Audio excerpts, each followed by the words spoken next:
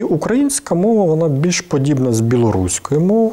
Хоча будь-яку книжкову полицю подивитися радянського там часу, то звісно там переважна більшість була російською мовою. А майже всі вищі навчальні заклади на 100% перейшли на російську мову. Якраз русифікація через армію мала велике значення. Найбільше ж насправді діаспора українська не в як і не в Канаді, не в Сполучених Штатах, і не в Бразилії, а в Російській Федерації. Сприйняття її не як державна, як рідний.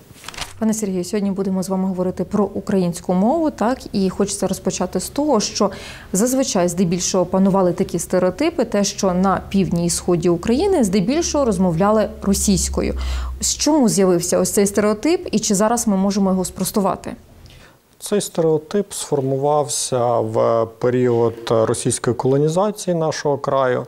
Е, коли основна маса діловодства і велася російською мовою, школи, які відкривалися російською мовою, і потім внаслідок заселення даного регіону змішаним населенням. З одного боку, це були, звісно, українці, які рухалися з півночі, а з іншого боку, це росіяни, і не стільки, мабуть, росіяни, а як і представники інших народів, які тут оселялися. І вони в умовах розвитку тогочасного суспільства приймали великою мірою мову окупанта, мовою панівної нації.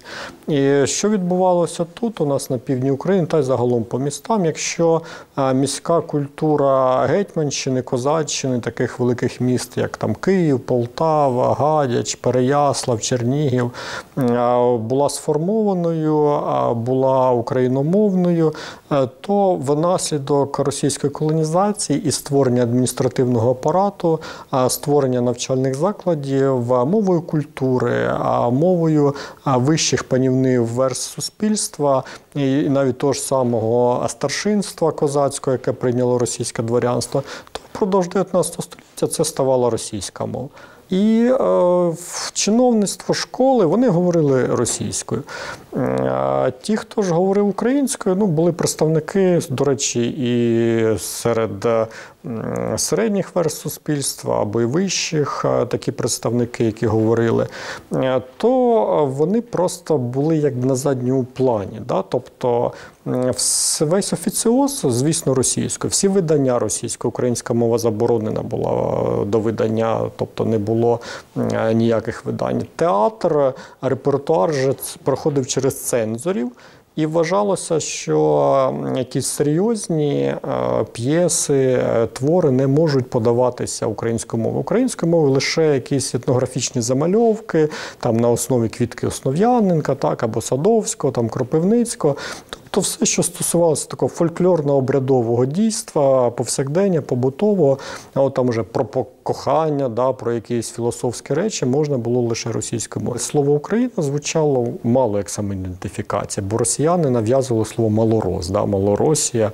І а ну а це ж російська, да, а російська це значить великоросійська мова. А оцей ваш от, от, от, от, малоросійська це вже щось там від чорта, від там біса, да, і так далі. Тобто звідсіля і потягнувся ще один міф, що українська це діалект російської. Так, е, були дослідження такі філологічні, де вони е, говорили, що не існує такої да, української мови, як такої, що це просто діалект, спотворений російська. Ну так, а малоросійське наречі, малоросійський говор от, е, позначалося. Хоча, от, мабуть, випереджаючи ваше питання, да, українська мова вона ближче, по-перше, до старослов'янською, якою говорили ще за часів Київської Русі, а ту, яку ми книжну сприймаємо через літописи, це ж насправді книжна мова, яка була сформована носіями з одного боку от е, староболгарської мови, звідки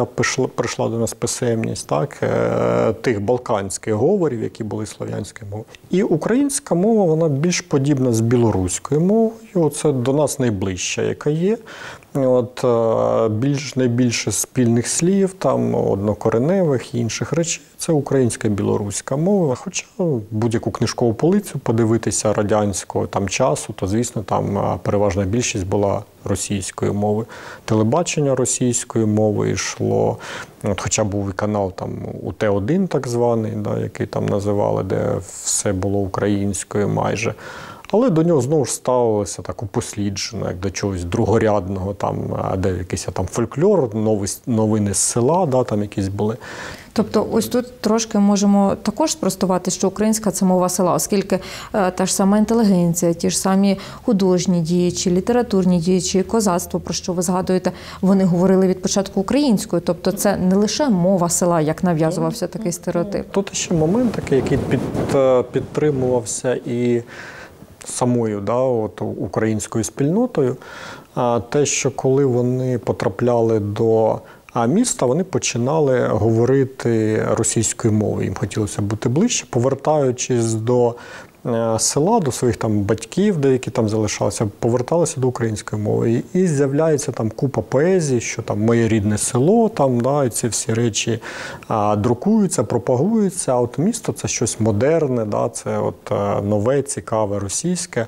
А українське це десь там корівки, да, там левади, якісь інші речі. Тобто цей стереотип дуже далекий е, від реальності. Якщо взагалі врахувати, що на початок ХХ століття в Російській імперії то селянство становило 87%. Да? Міських жителів там було тих 13% і все. От, І відповідно це не так впливало на загальну народну масу. Да, так скажемо. От Перша світова війна, масова мобілізація, всіх загнали в російську імператорську армію, де, звісно, все російською мовою, да, всі накази і так далі. І в радянський час якраз русифікація через армію мала велике значення. Читав документи Другої світової війни, де в газетах фронтових, армійських писалося майже в кожному випуску, мене це дуже здивувало, про важливість вивчення російської мови тому що Радянський Союз був багатонаціональним, от, і багато хто просто не розумів офіцерів да, своїх. Ну, Тобто вони не сприймали зразу е, команди да, інші речі. І там от прямо от в кожному випуску, що от, треба вчити, треба вчити. Українців це в меншій мірі стосувалося, тому що все-таки слов'янські близькі. А ось народи Кавказу, там інших країн, де прямо що вони взагалі не розуміють, да? ті ж самі Середньої Азії, про що їм там ті офіцери говорять. Так?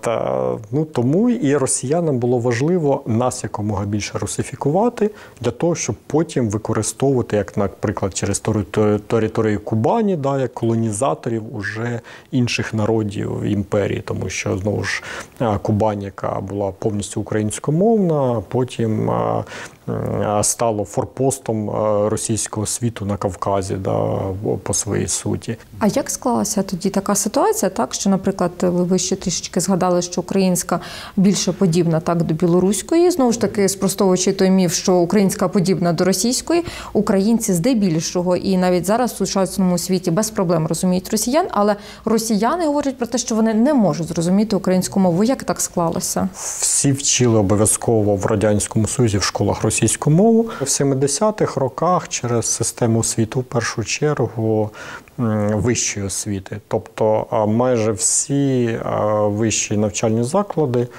На 100% перейшли на російську мову. Потім супутникове телебачення, так, російськомовна естрада, це все призвело через потужні інститути поширення російської культури, що ми їх все одно розуміємо в великій мірі. Найбільше ж насправді діаспора українська не в як і не в Канаді, не в Сполучених Штатах, і не в Бразилії, а в Російській Федерації. В 90-х роках українцями себе називали в Російській Федерації десь приблизно 5 мільйонів людей. А зараз вони себе українцями вже не називають. Їхні діти вже не називають себе українцями.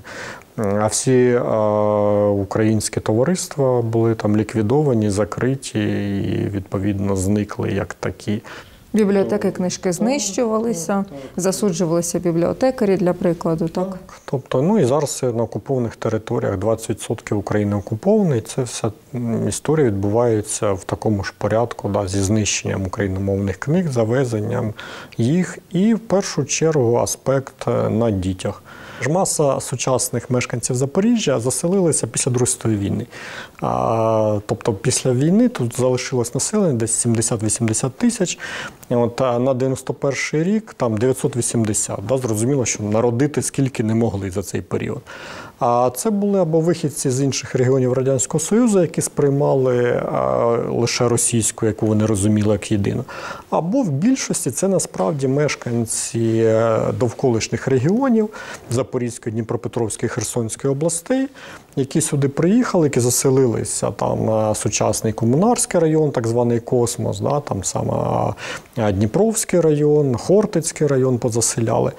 І вони між собою зразу заїжджали, говорили українською мовою. Але де вони працювали? Заводи, трести, де все діловодство, все інженера говорили російською і так далі. І в школах їхні діти так само могли а, українську мову вивчати, але могли й не вивчати. Да? Радянський Союз поставив таку умову, е, що ну, як факультатив українська мова. А для чого? Да? Тобто ну, в армії не потрібно, в інженером тобі не потрібно, ти підеш у вуз. Для чого її вивчати взагалі? Е, Щоб з бабусею або з батьками поговорити. Так вони там вже відсталі, да, ми ж будуємо майбутнє, світле, там гарне, і все це буде російською мовою. Все це відбувалося досить просто. І ще один аспект да, про, про те, що колись в одному опитуванні нам сказали. А коли вмерла чоловіча пісня, от, а зараз от, в пісні якісь там фольклорні колективи більше жінки співають. Кажуть, от розповідали десь після Другої світової війни, що там гармошка була інші речі, але українські пісні, акапело, чоловіки теж співали досить часто. А потім з'являються магнітофони, і магнітофони витісняють. А це все було е, російською, да, починаючи від е, там, от, бардів, да, Вінзбор там, чи там, Висоцький, да, це все було. Звісно, були там Мареничі, Тріо, інші були, да, там Івасюк був, ці всі речі були, але вони в порівнянні з масою російськомовної культури були наскільки а, одинокими. Хоча, ну, От ці всі речі, і як їх вітали відповідно в- україномовних регіонах, і не лише україномовних, да, той же там Миколайчук, інші речі, да, які ну, прекрасні там робили а, от, в театральному, в культурному відношенні, популяризація цієї української мови. Ну, Хоча за аспект про. е, ви знаєте, насправді ж говірок е, української мови е, є декілька так по регіонам, але в нас традиційно ж ну, закладено там схід-захід. Насправді ні. Філолог говорить про північ і південь. Да? Тобто, от е, наш південь. Якраз е, говорить оцим е, південноукраїнською говіркою, яку ми там суржиком називаємо, так? А північ там своя говірка, центр свій говірка. Тобто це не схід-захід. Що таке суржик? Оскільки, наприклад, в південних східних районах, е, регіоні нашому, зокрема Запорізькій області, можна почути суржик, так це зокрема в сільській місцевості, і саме слово суржик. Якщо, наприклад, приїхати в інші регіони, зокрема і на західну Україну, то таке як суржик не вживається. Що це таке? Давайте розберемося. Суржик це взагалі мішанка зерна, так, це от чисто сільського походження термін, який введений був. Це мішанина пшениці та ячменю, от, ну, або з інших злакових, пшениця з чимось змішана, да, от яка є. Тобто так називалося. А і це застосовується щодо мови. Е, Тут е, є відповідно таке питання: це насилля над якою мовою? Над російською чи над українською? Тобто, великою мірою це вживання російських слів з українським акцентом в такому питому українській мові. Ми зафіксували декілька родин, декілька жінок, які виявляється, розповідали, що на початку там 20-х років, коли їхні батьки приїхали з Курської губернії, звідтіля з Росії, говорили російською мовою їхні батьки, а вони під впливом місцевого населення вони українізувалися повністю. Але ну, деякі слова, там папаша, да, наприклад, вживали інші речі. Перемішування мов це звичайний процес, але тут оцей суржик він став ознакою якраз от, а, низькопробності української культури, тому що існувала а, літературна українська мова, і яка була якби вишуканою, да, там, без матюків, перепрошую, без всяких інших речей.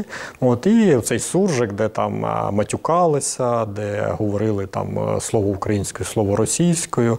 От, але ну, співцем цього суржику той же самий літератор є Лесь Подерв'янський. Так, от, і в багатьох регіонах також є групи, да, там курганний агрегат, наприклад, які е, цієї мови. Тобто, якщо частина населення цієї говорить, то ну, як і в інших регіонах світу, в інших країнах, має місце бути. Саме в 20 столітті, за часів радянщини, він просто став. Катастрофічно поширюватися е, завдяки тому, що населення, яке е, прибувало до міст, е, масова урбанізація, форсована е, індустріалізація, урбанізація після Другої світової війни, що велика маса сільського україномовного населення або з невеликих, навіть міського, але з невеликих містечок, прибуває до великих, таких як Запоріжжя, там Дніпро, Донецьк, який Донецьком став лише в 60 якомусь там на першому чи якому там році. От, і до Луганська, там Одеси. От вони починають е, коверкати, да, говорячи суржиком, то і українську, і російську мову, бо хотілося їм вже говорити російською, але ну, не вдавалося. Звісно, українське там от пошкребти трохи, воно проявлялося. Хоча ну, зараз ситуація, молодь, на щастя, незважаючи на а, те, що. Російською мовою багато хто з них в сім'ї говорив уже з своїми батьками, так, з своїми однолітками, які в мас-медійній культурі російськомовні знаходяться. Вони для зростання переходять на українську мову. І це ще один суржик з'являється. Да? Це от суржик з переходу е, з російської на українську. І він вітається. Говоримо зараз про сучасну Україну. Е, Вже ніхто насильно не насаджує російську, так як було за часів Російської імперії, Радянського Союзу. Чому все одно спостерігалося ще буквально е, роками, декілька років тому, що молодь прагнула до російської через щось так? На жаль, навіть в українському інформаційному просторі перевага віддавалася продукту, який робився продюсерами з е, такою перспективою на дві країни. Да? Більше грошей можна заробити, якщо ви там. а, І продаєте цей продукт і в Росії, і в Україні, а тим більше російський величезний ринок, багатий ринок завдяки нафтодоларам.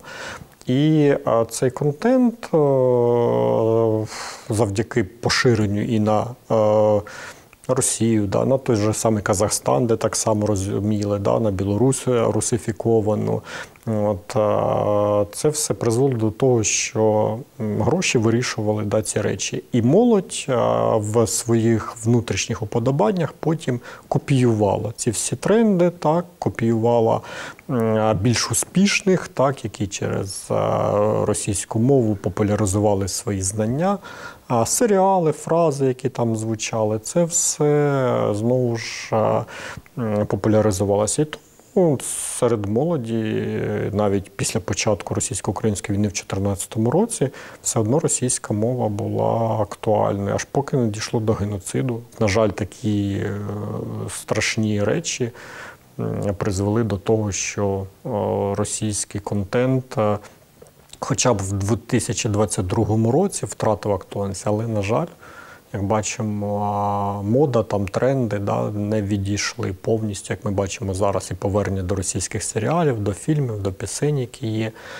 А, ну, людині буває ближче це от, внутрішнє, він а, звик, так, а, тому що працювати над собою ну, це ж завжди важко. Да? Легше сприймати те, що ти ось отримав. І коли тобі там інтернет через мережі пропонує такий контент, ти його там слухаєш, дивишся, не шукаєш спеціально от, україномовний. От, який тобі ще не зрозумілий, його треба обдумати, його треба переосмислити, знайти той, який краще. Знову ж таки, міфами, стереотипами да, про, про захід, про схід. Схід це знаєте, як було. Навіть досить недавно, там років 10 назад, е, їдеш е, маршруткою із якогось е, містечка, яке знаходилось в Запорізькій області, там Вільнянськ, Пологи, Гуляйполе, і там от між собою люди говорять, студенти їдуть часто і говорять українською мовою. Межа Запоріжжя таки заїжджають і все, всі перейшли на русський язик. Да, між собою от, автоматично це спрацьовувало. Да? От, і я бачив це з дитиною. Мама е, говорить з дитиною українською мовою. З Вільнянська їхала. Ми заїжджаємо перша зупинка, і вона переходить на російську мову зі своєю власною дитиною, з якою хвилину назад говорила ну, питання про а, оці культурні стереотипи. Як це не страшно звучить, зараз військові дії, які відбуваються, знову показують, що Україна єдина. Да? Є люди, які вперше сюди з заходу України потрапили. Да? Це бригади, які боронять зараз Запорізький край, територіальної оборони, інші. Вони ми вперше тут. Да? Ми в Польщі частіше бували, чим ми тут е, бували у вас. І навпаки. І на початку війни, коли ми ж з хлопцями говорили, опитували промовне питання, воно звучало як і 100 років назад. Да? Мова має значення на фронті не для кожного секрет, що це спосіб ідентифікації свій чужий, коли в темряві в умовах бойових дій. А Якщо ти знаєш українську, е, то це мова виживання. Зараз знову ж не секрет, е, російські спецслужби активно шукають україномовних е, прибічників російської ідеї, так, для того, щоб популяризувати свої ідеї вже через україномовний контент, через інтернет. е, Що російська держава рано чи пізно, звісно, розпадеться, буде зруйнована. Поруч з нами з'явиться декілька незалежних держав. І як це не сумно, але мовою, яку вони будуть все одно розуміти, це буде російська да, мова всіх оцих Яка насаджувалася там роками також. яка відповідно там і Татарстан, і інші, да, які там є. Там, Поневолені народи. Да, ці всі поневолені народи, вони, е, звісно, говорять і розуміють. Ви вже трішки згадали за військовослужбовців. Дійсно, можемо побачити, що е, захищають Україну військовослужбовці, які володіють різними мовами. І в світлі останніх подій, власне, скандал з Іриною Фаріон. Так, проте е, насправді, ось тут чи можемо ми взагалі чи актуально зараз, і чи маємо право говорити про чистоту української мови, власне, і про те, якою мовою мають володіти військовослужбовці, оскільки всі вони українці, всі вони захищають. І ми дякуємо тим, хто приїздить з інших країн, також аби захистити Україну.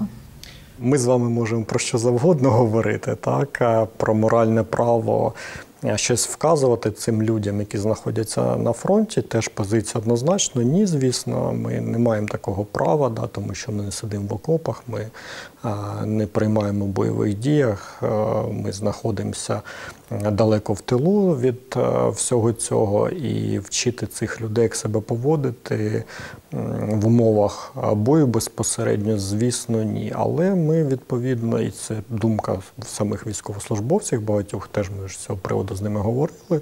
Вони говорять. Але навчання так в тилу військових все повинно проходити українською мовою. Да? Навчання дітей, наступних поколінь. Війна надовго насправді, да? давайте бути відвертими. От, і вони навіть російськомовні, коли ми говоримо там про призиви, да, про певні частини, я спілкувався. Тобто, повертаючись до суржика, це зараз мова армії, так, із е, обсценною лексикою, нецензурною, так, і, і яка там використовується із там міцними так. а, Чоловічими словечками і жіночими також віддаємо шану і нашим жінкам, які воюють на передовій, захищають, все це роблять. Вони все це використовують відповідно. Пане Сергію, власне, на завершення ще запитання, аби в подальшому, у майбутньому, так, оскільки знаємо, що і ворог не сидить, склавши руки, він дійсно підігріває, і пропаганда, і шукає, як він може ще впливати і окупувати території, аби в майбутньому уникати того, щоб спекулювали на питаннях мови, аби не підігрівали, е, не розколювали українське суспільство, аби не було таких висловів, як в Ірини Фаріони, і е, хто там інший хоче так, наприклад, висловлюватись так. Що треба робити, от на вашу думку? А, На мою думку, треба формувати адекватний культурний простір. Треба популяризувати через всі напрямки розвитку культури. А через е, інформаційні потоки, починаючи від е, блогерів, яких треба через державну політику спонсорувати, щоб от е, ведеш українську не лише тому, що ти патріот, да? ти ще за це отримуєш. Підтримку е, через е, державні канали да, від е, певних осіб, які це підтримують. Треба відповідно через систему створення цієї низинної культури, да, тих же самих серіалів, тому що кіно ж воно і під час Другої світової, Першої світової великий вплив мало. А через всі ці мас-медіа популяризувати. Ну І, звісно, це приклад представників вищих щаблів суспільства. Да? Е, Бути модним, успішним і при цьому бути україномовним. Це буде трендом, е, який завжди е, будуть хотіти копіювати, так, на який будуть рівнятися. Комунікації повинні призвести до поступового вкорінення української мови, сприйняття її не як державної, а як рідної.